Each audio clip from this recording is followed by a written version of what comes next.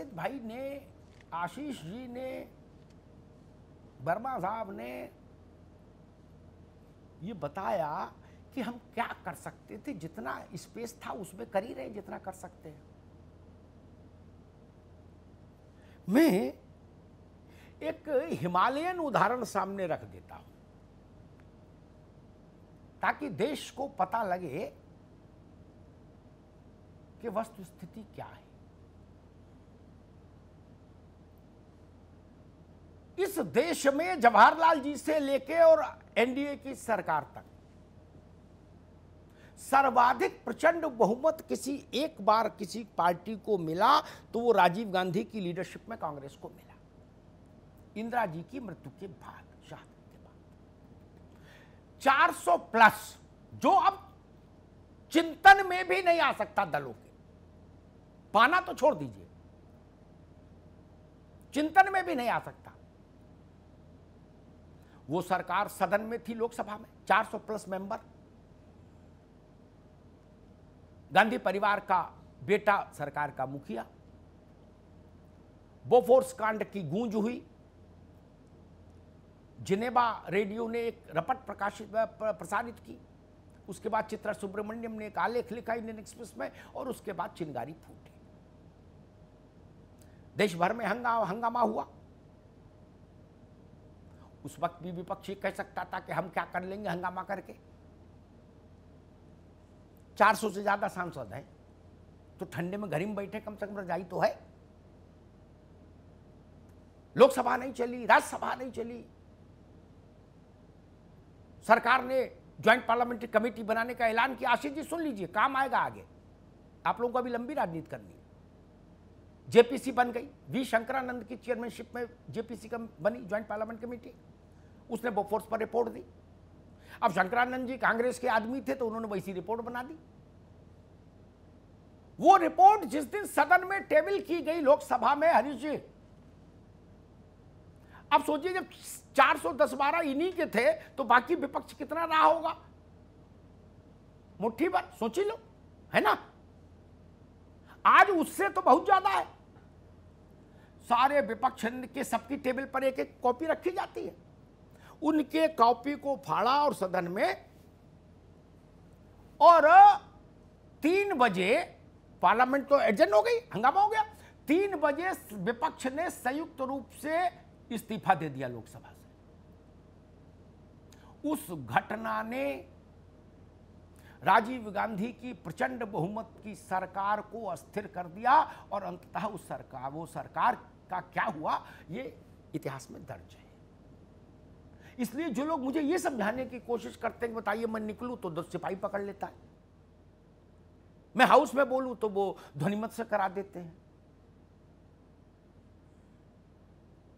200 से ज़्यादा विपक्ष है लोकसभा में। मोर देन 200 मेंबर्स इसलिए अपनी पीठ ऐसे मत थपथपाइए। अगर आप ये उस पाले में खड़े हैं कि ये कानून खराब है, अगर आपका चिंतन वो है तो उसके साथ प्रतिबद्धता दिखनी चाहिए। भाजपा मानती है कि वो कानून अच्छे हैं तो वो उसके लिए प्रतिबद्ध, प्रतिबद्धता तो दिखाती है हर स्तर पर। बाद में फैसला किसान करेगा।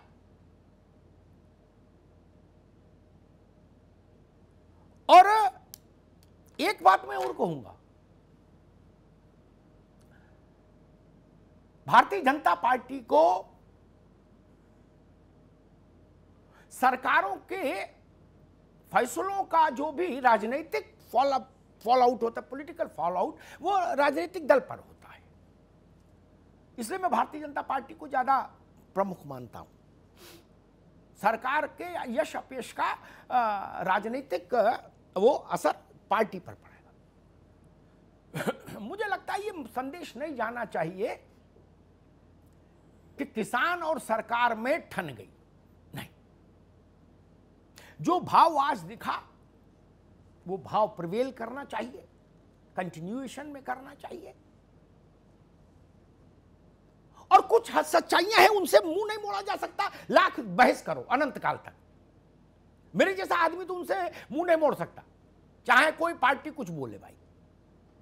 हरीश जी, एक बात आपको बताता हूँ।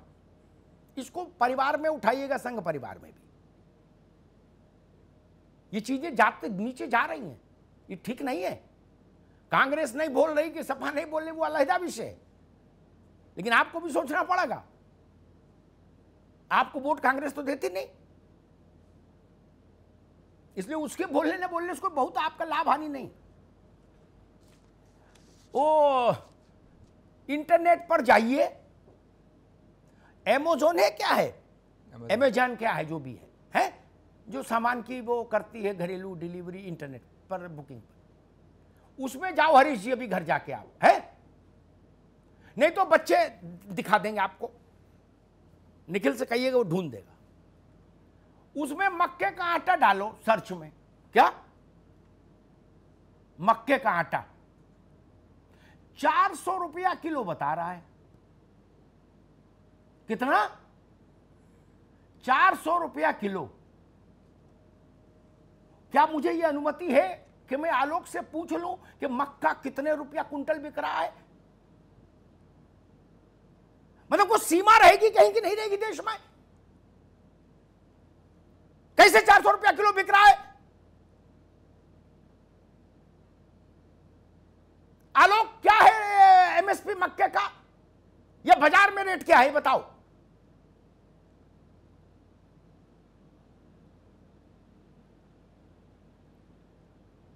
मुझे नहीं लगता, मैं जानता नहीं कि मुझे नहीं लगता दो हज़ार से पार होगा, सौ किलो का। तमाशा है? तमाशा है? और सब खामोश? ना इनको समझ, ना आपको चिंता। मुश्किल तो यह है। ना इनको समझ, ना आपको चिंता। कि एमोजन पर भैया ये कौन जादूगर है जो चार सौ रुपया किलो आटा बेच रहा है इस देश में? मक्के का। एक पैकेट आता है, शायद आप लोग भी ग्रहण करते हो नाश्ते में। Corn flakes. आता है ना? मक्के को भून के कूट लो, वो कॉर्नफ्लेक्स है। ठीक, यही है ना, हरीश जी? है? उसका रेट जरा पता कर लीजिए। और थिकनेस पैदा करने के लिए कॉर्न फ्लोर आता है एक। कस्टर्ड जैसा डिब्बा होता है इतना बड़ा। क्या? वो भी यही बवाल है। मक्के कोई प्रोसेस करके बनता है। जरा उसका रेट पता कर लीजिए। चिप्स का तो मैं कहीं नहीं रहा चिप्स का तो मैं एक हज़ार बार उदाहरण दे चुका। इसकी चिंता कांग्रेस को नहीं, भाजपा को नहीं, सपा को नहीं, रालोद को नहीं, किसी को नहीं। मेरी चिंता यही है। मैं चार सौ रुपए किलो मक्के के आटे के पक्ष में खड़ा हो जाऊँगा। अगर किसान से तीन सौ रुपया किलो मक्का खरीदी जाने लगे, मैं पक्ष में खड़ा हो जाऊँगा। एक बार किसान को तीन सौ रुपया मक्के का एक किलो का मिल गया अगर तो एक साल में सरकार कुछ करे, नहीं करे, कोई कुछ मदद करे, नहीं करे, भारत का हर किसान चार पहिए गाड़ी चलने लगेगा। एक ही साल में। दिला दो। यही करा दो भैया। यही करा दो। एक आलू के चिप्स का पैकेट बीस रुपया में, जिसमें गिन के बारह पंद्रह चिप्स, बाकी हवा, उस रेट से तो आलू दो सौ रुपया किलो खरीदना चाहिए फिर किसान से। और आज आलू आठ रुपया, दस रुपया, ज़्यादा कहीं है ही नहीं मंडी में खरीद कर, जो किसान बेच रहा है। कोई सोचेगा कि नहीं सोचेगा? या अपनी अपनी ढपली अपना अपना राग चलाओगे सब लोग? और हर आदमी ये कहता है कि किसानों की चिंता हमें बहुत है। किस बात की चिंता कर रहे हो भाई? ये तो बताओ कहाँ चिंता कर रहे हो? किस कम कक्ष में बैठे हो आप जहाँ देश दुनिया की खबर ही नहीं आपको? बिल्कुल। आई वॉज़ शॉक्ड आशीष बाबू जब मैंने देखा कोई सोच सकता है इस देश में इतनी लूट? मक्के का आटा चार सौ रुपया किलो। ठंड में मक्के की रोटी भी नहीं खा पाए आदमी।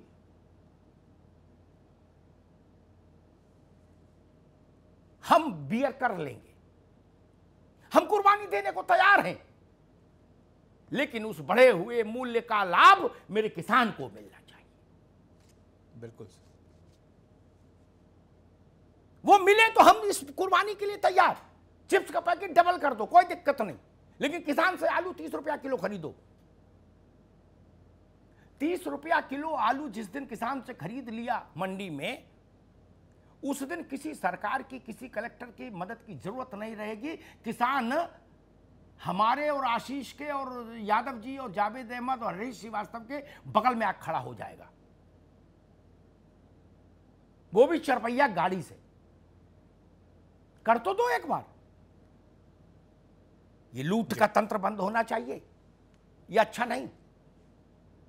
इसीलिए मैं कहता हूँ, कृषि उत्पादनों पर, बाज़ार पर सरकार का नियंत्रण रहना चाहिए। नहीं तो ऐसी ही समस्या पैदा होगी। कोई पाँच सौ रुपया किलो बाजरा बेचने लगेगा। कोई अंग्रेज़ी में चार शब्द लिख के रागी का और कोदों का आटा पाँच सौ रुपया और सात सौ रुपया बेचने लगेगा। ये क्या है रागी, बाजरा, ज्वार, ये क्या है? हरीश जी, आज से 20 साल पहले हिंदुस्तान में इसको मोटा अनाज कहते थे और जानवर खाते थे।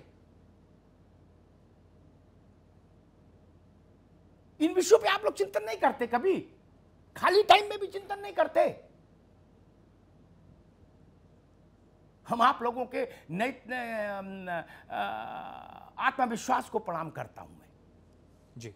इन मूल विषयों पर चिंतन ना करते हुए भी आप लोग सच में कितने आत्मविश्वास से भरे लोग हैं। ताल ठोक रहे हैं मैदान में है। लेकिन ये चिंतन का विषय नहीं। पॉपकॉर्न का पैकेट आता है, कच्चे पॉपकॉर्न का, वो खुद बनाओ घर में, कुकर में, है? इतना बड़ा पैकेट हरीश जी, जिसमें इतने होते हैं, है? सत्तर रुपए का है, छोटा वाला पैंतीस का, है? जिसमें आधी मुट्ठी मक्का नहीं। कभी आप लोग देखते हो इन चीज़ों को, नहीं देखते हो?